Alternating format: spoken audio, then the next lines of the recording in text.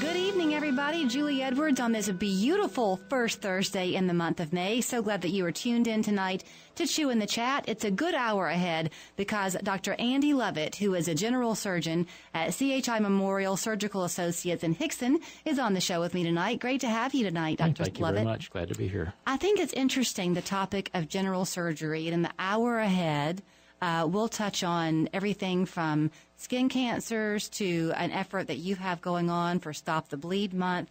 But when I think of a surgeon, I will tell you, I tend to think more of specialists. I, I think we tend to forget that as a general surgeon, you are well versed in everything.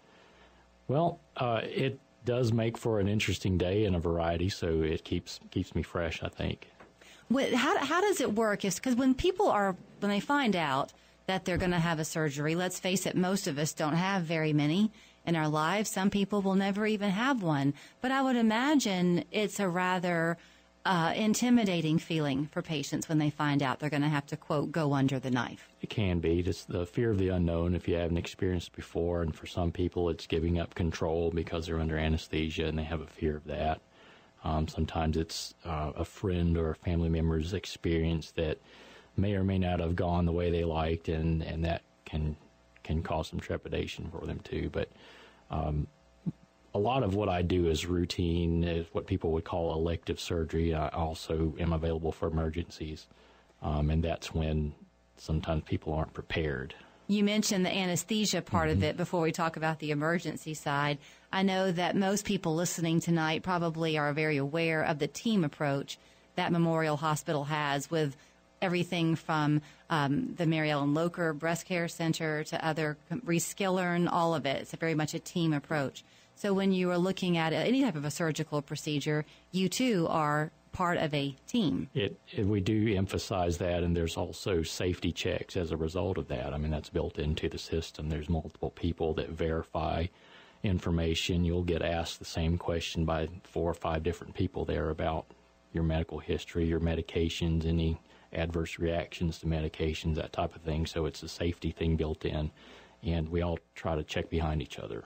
So you mentioned that very a large number of the procedures that you do every week are scheduled things that they're just kind of routine, as you say, surgeries. What would that be? Things like tonsillectomies and that type of thing, or Uh, as a general surgeon, um, on my variety of cases may include hernia repairs, gallbladder surgery, breast cancer, colon cancer, appendixes. Sometimes we'll take out a spleen, uh, bowel obstructions, skin cancer, hemorrhoids.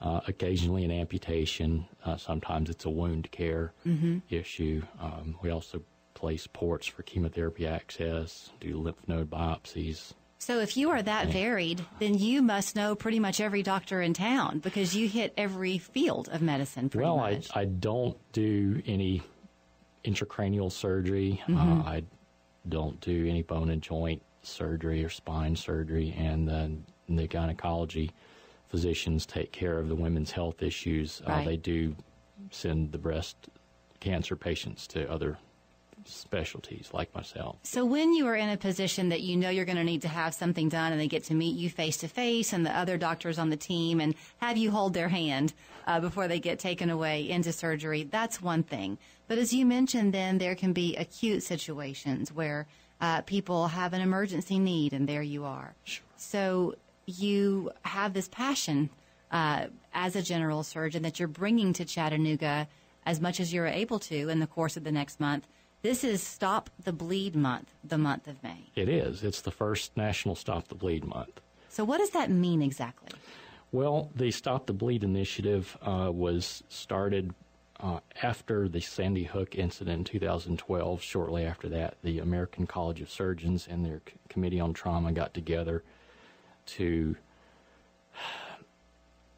find ways to educate the public on how to quote stop the bleed and and it was important because they realized that people were dying and had died from bleeding that could have been stopped if someone knew what to do at that moment before first responders get there. Um, so, life threatening bleeding from an extremity injury can take someone's life in a minute to a minute and a half. Really? Um, and that's not time for the rescue squad to get there. And if it's an incident like Sandy Hook, even if they're on site, they can't go in until scene is secured. But if you know you're there and you happen to know what to do, it could save some. some a lives. minute to a minute and a half. Sure. That's how quickly it can happen. Sure. So, is it fair to say that most of us freeze in a situation? We talk about what is it, flight or fight.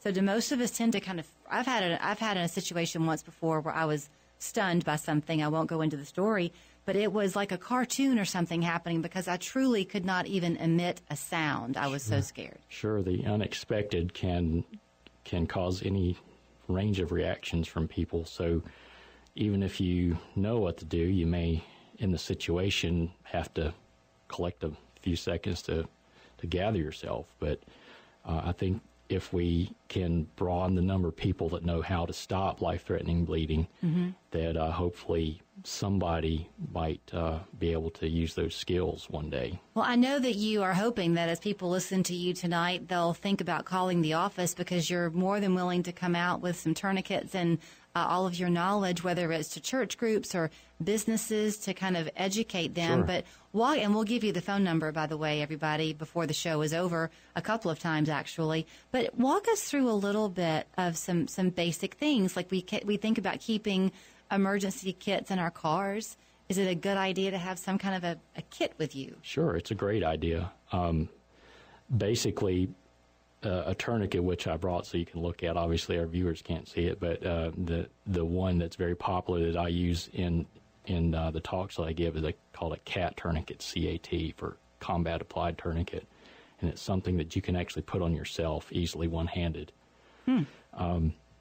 Wait, so so you're saying that if somebody, if if each of us had one, then if we were the victim of something, as long as we were conscious, we could apply this to our own selves. Sure, but it's Wow. critical that you have it available, and that minute to minute and a half is um, for a limb threat, uh, life-threatening bleeding on a limb, is about the time that you have before you lose consciousness. After that, you can't put the tourniquet on yourself, Right. so it's very critical to have it handy. How do you know? A dumb question, maybe, but for me, if I was injured and I saw blood coming anywhere from me, I would think it was the worst. But how, how do you know when it's that critical to need that tourniquet? Well, the volume, um, the volume of bleeding, the amount that's of blood that you see, whether it's under pressure or pulsatile bleeding, uh, those are some clues that it might be um, a life-threatening injury to a major artery, so that's the issue: is if if it's hit an artery, if a the major wound. artery or a large vein, actually. Uh, but the arteries are under pressure, and uh, you can exsanguinate rather rapidly from a major arterial injury. Do we tend to bleed differently depending on the age we are? If it affects, you mentioned Sandy Hook.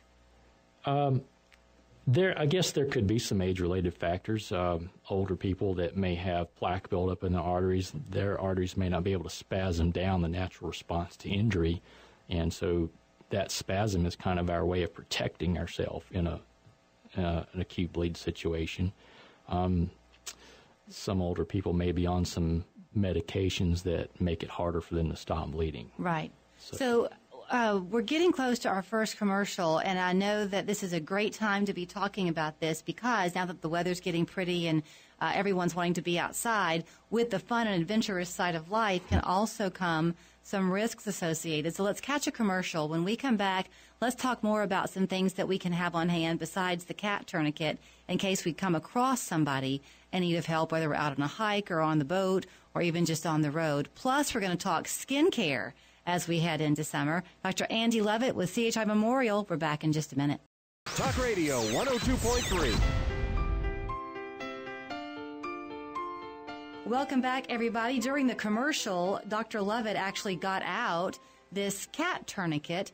I have seen these before, and why I don't have one, I don't know. This thing is so small Sure. and compact. You can easily put it in a pocketbook if you're a woman. I don't know quite where a man would keep it, I guess, in their back pocket. I have a little trauma kit that I take with me. Uh, there's one in my car. There's one that's clipped to my daily um, messenger bag. Um, so So you demonstrated it for me uh, in the commercial, and, and I'll kind of walk you through it because it's very self-explanatory. I, like I said earlier, would be that person who would freeze, I think, in the crisis situation. So it's kind of guiding you. There's a little red tab that lets you know that you want that to point towards your heart. Sure. that And right? that's just because it's easier to tighten pulling it in towards the body than trying to pull it out away from the body. Okay, so it's not critical. It's just to make it easier for Sure, you. Sure, if you're applying it on yourself. Okay. So- Um, so then you said this is not intended to be comfortable, however. Now, when it's tightened down enough to stop arterial bleeding, it will be very tight and it will be uncomfortable And you just know to twist it until the until bleeding you stops. see it. What do you do? I guess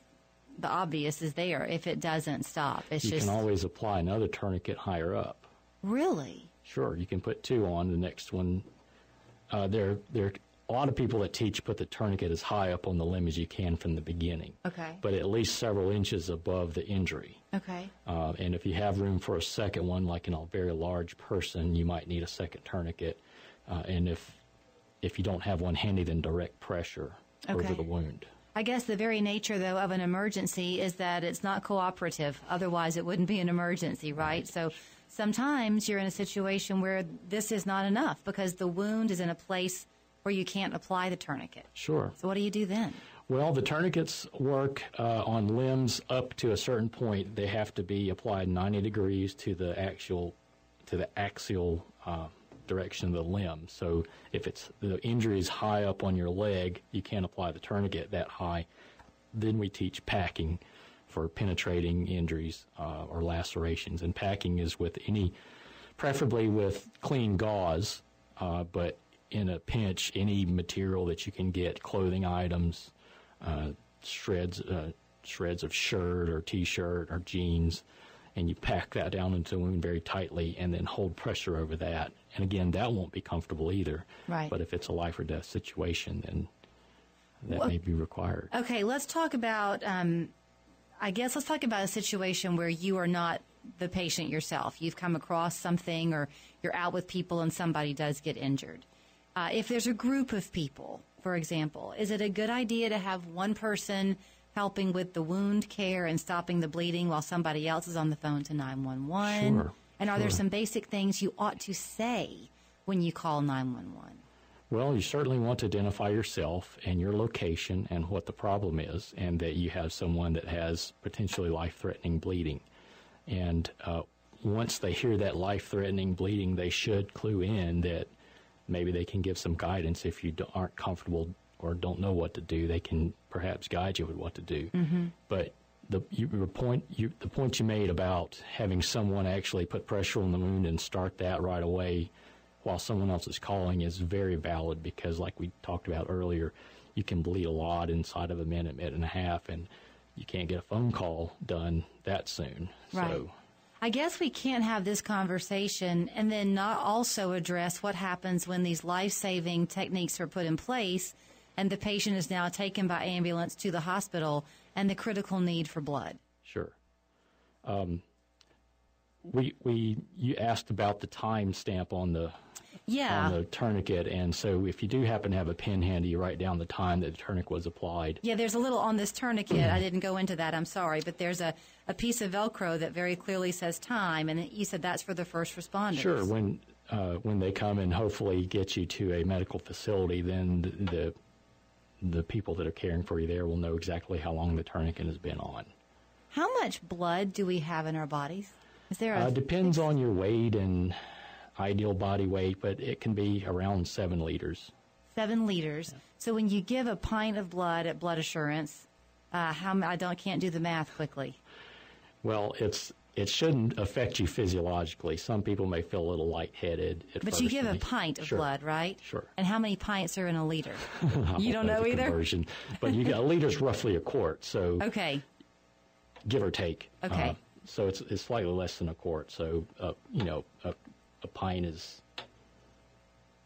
About three or four. I don't know. But it's a lot. two cups. Two two cups make a pint, and how many pints? I don't know. We quart? got to go back to eighth grade, don't we? I left that behind when I became an English major in college, and clearly you have other people who you can rely on that Yeah, for. uh, wouldn't be a good Jeopardy as a general because I'm a- surgeon. But the point I guess I was going to make is you realize the volume of blood needed. Sure. Because if you do, and we ha- you see these situations pretty regularly at the hospital, right? Where people are at a at a critical need of blood. occasionally, hopefully, fortunately, it's not common. Okay. And we may transfuse a unit or two here and there, which equates to about a pint. You can guesstimate, but um, we- we're trying to not trans. There's an actual push to not transfuse unless it's indicated. So the the transfusion requirements are stricter now. Okay, so if you are in that situation where you need to apply the tourniquet to yourself and you stop the blood, you stop the bleed, Sure. then when you get to the hospital, you might not need additional blood? Well, it depends on how much you've lost, what your physiologic reserves are, how overall what your overall health is. Um, also, what happens when they take the tourniquet off. If it has to be something surgically repaired, then they probably leave it on until they get to the operating room. Do you think most of us would be surprised to see how how engineered the human body actually is to heal? I mean, do you see situations in surgery perhaps when you first started where you thought, I don't know how anybody can get through this and yet we can? I see it every day, uh, not just when I first started. It's a miracle, the human body and the design. Um, there's a lot that we take for granted. You're right. So I find it interesting. So So to that end, I think I fall. I'm a pretty healthy person, but I I will admit that I think I get this false sense of security sometimes because medical knowledge has just progressed so much in the last even 20 or 30 years of what we can treat effectively. So you, I tend to think sometimes it'll be okay because they can fix it, right? They can fix it. But that ounce of prevention being worth a pound of cure, you cannot overstate. So we'll segue a little bit into all of the sunbathers out there who are going to be hitting the pool Memorial Day weekend and the risks of sun exposure on your skin. Sure. Uh, May is Skin Cancer Awareness Month, and the thing I'd like to get across to the public is uh, avoiding the problem in the first place. So, good skin hygiene, good sun protection, um, and it's important that we try to get the message across to younger individuals because to for I guess lack of I don't want to generalize, but they tend to be the most outdoorsy age group, and also they're less likely to take protective measures. Well, you tend to think, let's face it. I mean, I remember being 22 years Sure, old, and I was never going to turn 40, Sure. right? Yeah, um, much less 50. Uh, so it just you tend to think that it's not going to ever catch up with you. But um, let me ask you this: in terms of sunscreen, you go to the store and you can choose between 10, 15, 20, upwards to 60 SPF.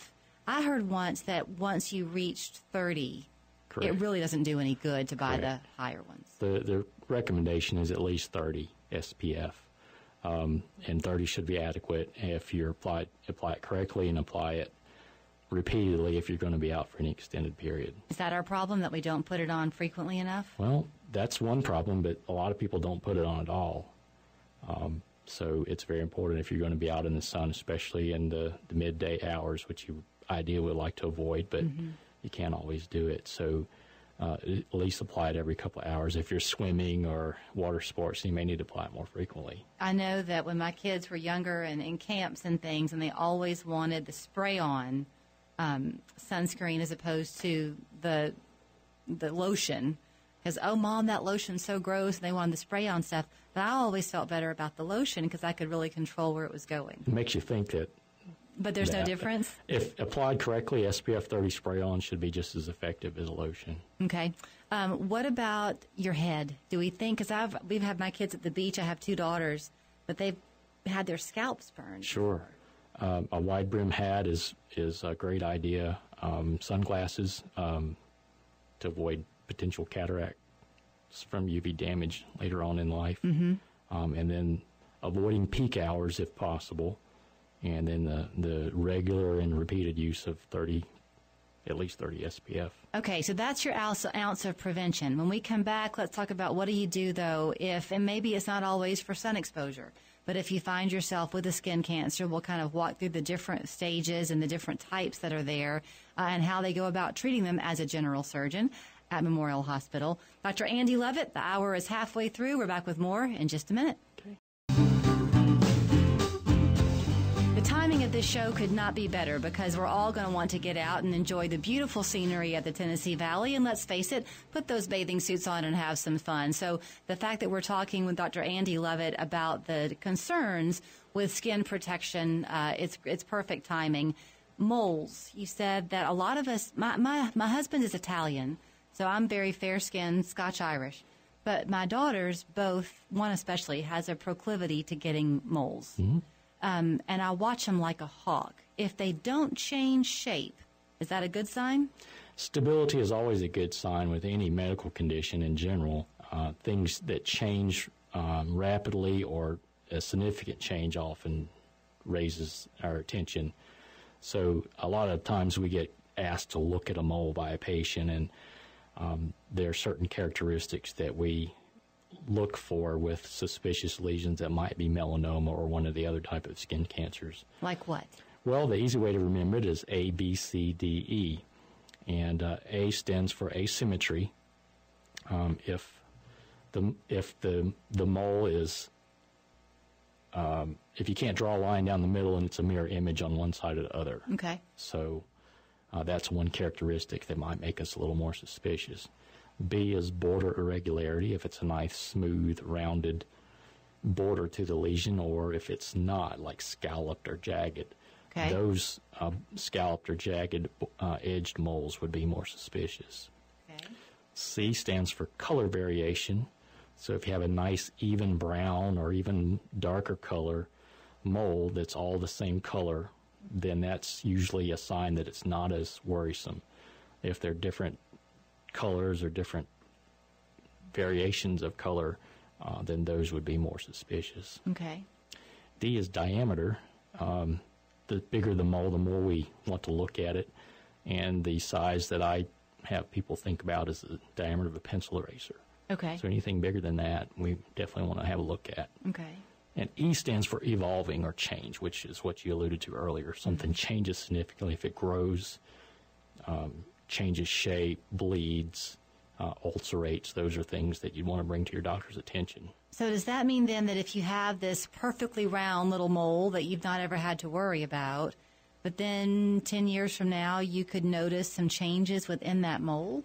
Sure. Is that how it works? Sure. Occasionally we see something like that. Or is it that then so so there are different types of skin cancers, right? There's basal cell, What's the other kind? Uh, squamous cell. Okay. The three common ones are basal cell, squamous cell, and melanoma. All right. Melanoma is the one that we really want to raise awareness for because it causes, um, it, it can cause death.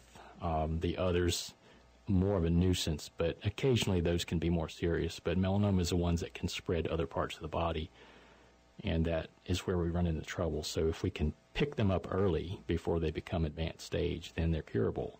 So, um, okay, let's talk first about the picking them up early. If you're listening to this tonight and you've got just some some moles, maybe that you've just lived with for a long time and never thought to go, would you go to the dermatologist? Would you come to you? How do you and you, what do you do? Get them biopsied?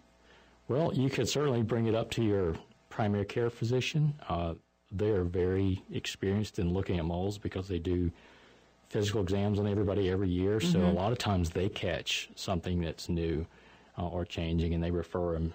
Uh, sometimes they may even biopsy or excise them themselves. Okay. I've had uh, some family physicians that don't do those biopsies, but they do send them when they're suspicious. So a surgeon, a dermatologist, those would be excellent if you needed to have a second look at it or even a biopsy. The dermatologist often will do uh, something called dermoscopy, which is a, a special type of magnification mm-hmm. uh, and look at moles. I don't have that in my office, but they're trained to do that. So that's another step that you could use. Certainly, if it's suspicious enough, then taking a biopsy, which is easily done in the office, um, is the right thing to do. Does insurance typically cover the removal of a mole, even if it's just suspicious?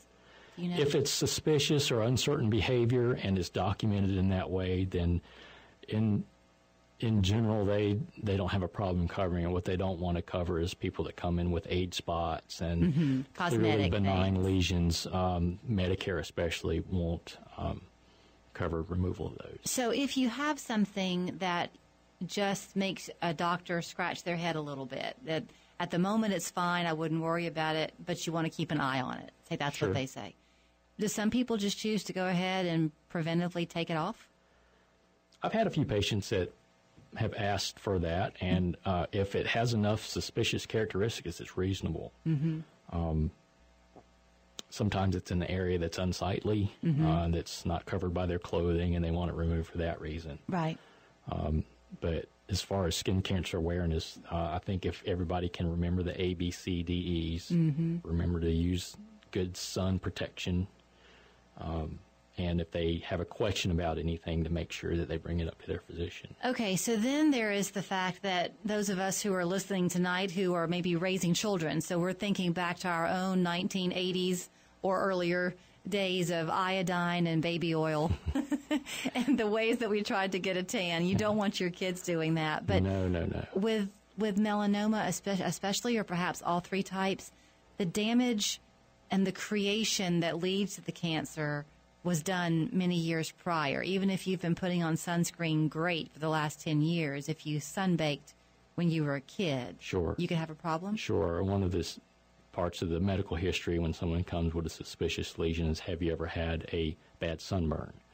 Um, so you're correct. The solar damage from UV radiation is cumulative, meaning it adds up over time. So a sunburn that you had as a child and then another sunburn or two as a teenager, it, it adds to the amount of damage done to your skin DNA.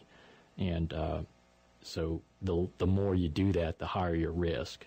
People like yourself that are fair skinned, um, Right. redhead, Right. um, I tan because my freckles run together. Northern Right. European background, that type of thing, tend to be more risk for, for melanomas. How do you define a bad sunburn? I had a doozy in the eighth grade. I got sun poisoning down at Disney World, so I know that was That one. sounds bad. That was a bad one. Um, but for a lot of people, how, how would they know that they have a bad sunburn? Well, if it blisters, that's pretty bad. Um, the amount of pain that you're having, the amount of area that's involved. Uh, but we want to try to avoid any sunburn if we can. Is peeling just a natural condition of getting sun, or if you're peeling, is that a sign It that means that there was a little damage done. Uh, our body, ha- body does have the ability to repair some of that, but over time, if enough damage happens, then you can change the cell's nucleus enough to where uh, you can develop one of these skin cancers. Okay, so you go to any pool uh, in suburbia these days, and you're going to see a lot of kids in swim shirts, those protective shirts. Are those a good idea to wear? I think so, uh, especially if they have an SPF rating, which you may see on the tag when you purchase them. So you do But- want to make sure that they're not all made the same. Then Sure, and I would still put on sunscreen underneath the shirt. you would. I would. How about sunglasses? You mentioned earlier with cataracts. I know you're not an ophthalmologist, but um, you know you can go to get get sunglasses on the cheap, or you can put a lot of money into them. So where do you what do you look for with a good pair of sunglasses? Well, you want to look for how the the percentage of UV blockage that they offer. So they should have somewhere on the label, you know, the amount of UVA and UVB that they block. So the higher the rating, the better. Okay. Um, when people come in, are, are you know some cancers? You think about breast cancer as having kind of a genetic component, other types as well. Are some families? You mentioned the Northern European heritage as being a precursor sometimes, but are some people just more prone to developing skin cancers within their family? Uh, I I think there are instances of that. Um, that's not so much what we bring up with with the May skin cancer Sure. awareness. Uh, is more for screening and prevention. But if you have several members in your family that have had uh, melanoma, then you certainly would want to be aware. Uh, melanoma can occur any place. It can occur even places that have never had any sun damage, like the Really? bottom of your feet, um, the retina, in, you know, of your eye. Really? Um, so And it, it does, my knowledge of it is that it tends to spread rather quickly. So, um, yeah, I know you mentioned the ABCDEs. If it's a melanoma versus a basal cell, does it look different to the naked eye or do you have to biopsy it to find Well, out? melanomas usually look different than basal cells. The basal cells have different characteristics, such as a rolled border and maybe a little ulcer in the middle. And they tend to not be as pigmented as melanomas because melanomas are named after the melanocyte or the the the part of the skin that gives it its color. And the mm-hmm. people that have darker skin have more melanin. Um, but you can have amelanotic melanomas, which are paler in appearance. Uh, So I- common. I would think that you know doctors' offices do get busy. You can't help it when your roster is full. So if you if you suspect something, is it really important to make that clear when you're making the appointment because time is important? Yes, it is. Uh, sometimes we get lucky and stumble across something. I've actually picked up some melanomas on patients that were in my office for something completely unrelated. I just happened to look at them and say, "How long has this mole been here?" And you know, we take a look at it and discuss the ABCDEs and do a biopsy. And it turns out to be melanoma. Right. So if you think there's something that you want to have looked at, certainly bring it up. Okay, I promised that I would give you the phone number. I'm going to give it to you again. But as we head into commercial, uh, so far, if you're interested either in learning more um, about the skin cancer prevention and the skin uh, treatments for the month of May and heading through the summer, or in having Dr. Lovette come out and speak to your group for Stop the Bleed, you'll find him at CHI Memorial Surgical Associates in Hixson. Their phone number is 408 3010. When we come back, I'm curious about uh, robotic surgery versus the old fashioned kind and what your thoughts are on that. Sure. The remaining part of our show in just a minute. So glad you're listening. Talk Radio 102.3.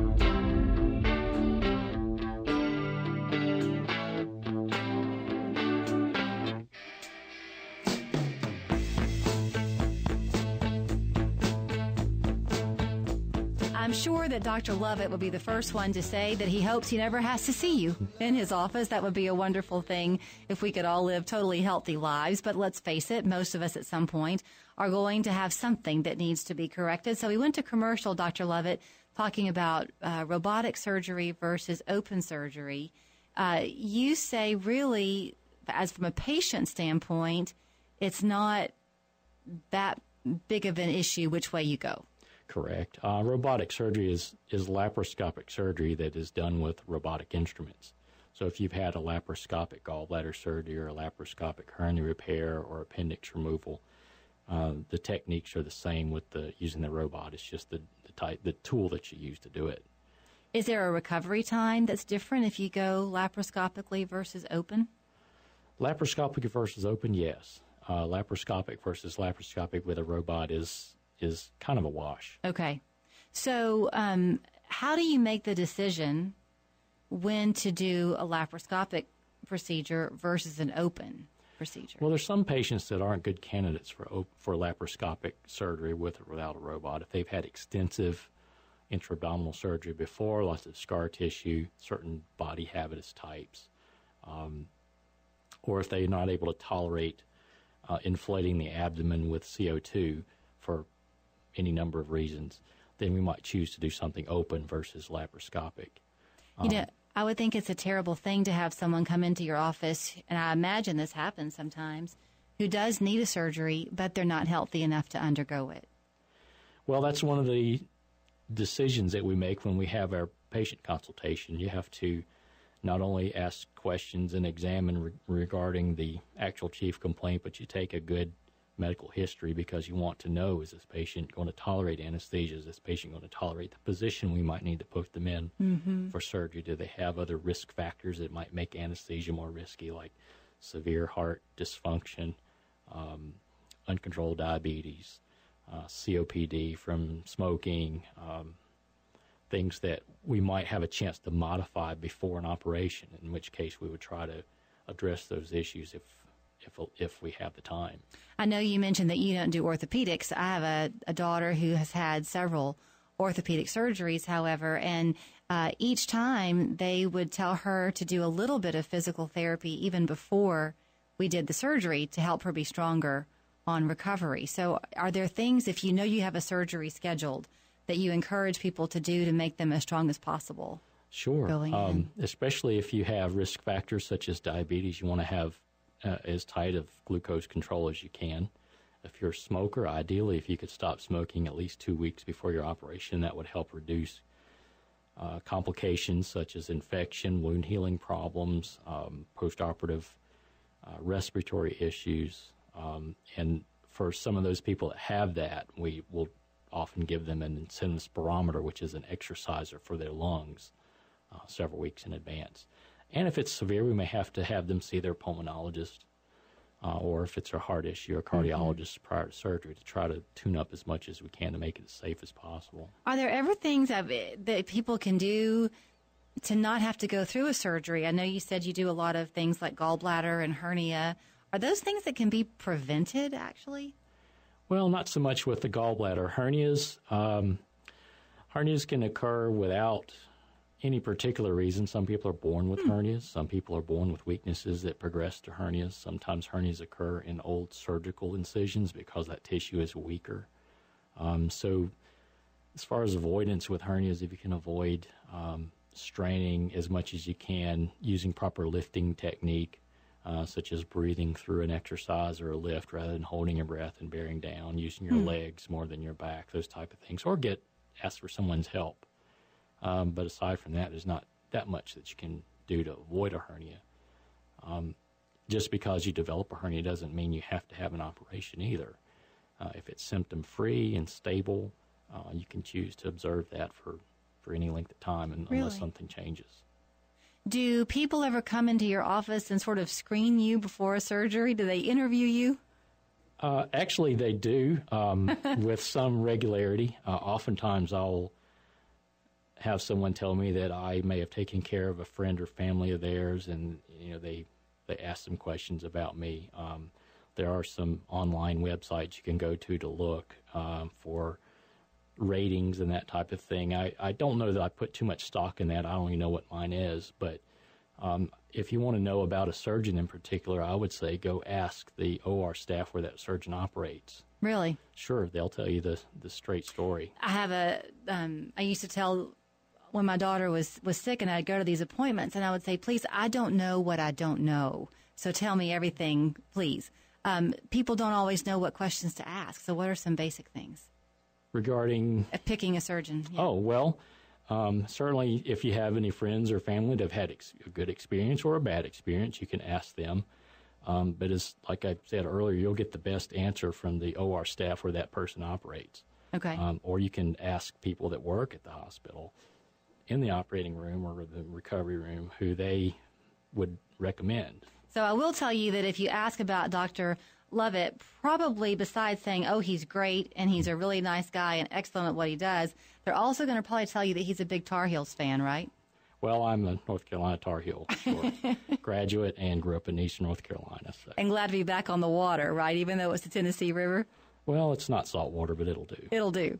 So um, before I let you run, back to the Stop the Bleed campaign, and I'll give folks the number.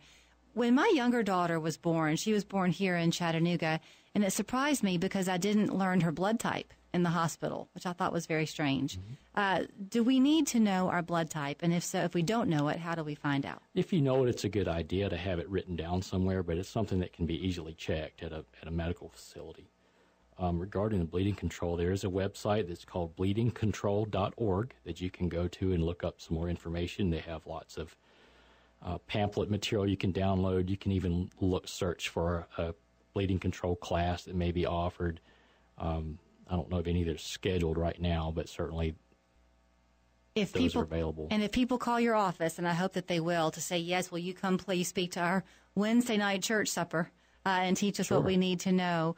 Will you bring examples of the cat tourniquet with you? Is sure. there a website where people can order them? You can order them from Amazon. Uh, okay. They actually have some knockoff ones if you want to have some for practice, and that's the other thing. If you have a one that you're going to carry for an emergency, I would say get a second one, maybe one of the knockoff ones, just to practice with. Okay. Uh, you don't want to repeatedly use your emergency tourniquet for weakening it or that makes uh, damaging in some way. So they're they're really inexpensive, um, and it's a good idea to have one of those handy. Maybe some gauze, uh, maybe an ace wrap, maybe some some gloves handy. Well, I didn't know I was coming tonight to get a takeaway prize, but I thank you for sharing the tourniquet with me. You're welcome. And I'll have to go home and figure out where to keep it. I won't keep it in the glove compartment of my car because then that won't do any good if I'm inside somewhere sure. and should need it. Let me give you the phone number though, where you can call his office uh, and see about scheduling him to come out to meet with you. He is a delight to talk to. 408 3010, Dr. Andy Lovette. Again, you'll find him in Hixson at CHI Memorial uh, General Surgical Associates. Associates. Thank you. I'm glad you could yeah. finish the phrase. Have a great night. Thank you so Thanks much. Thanks for being here. Have a good night, everybody. We'll catch you next time.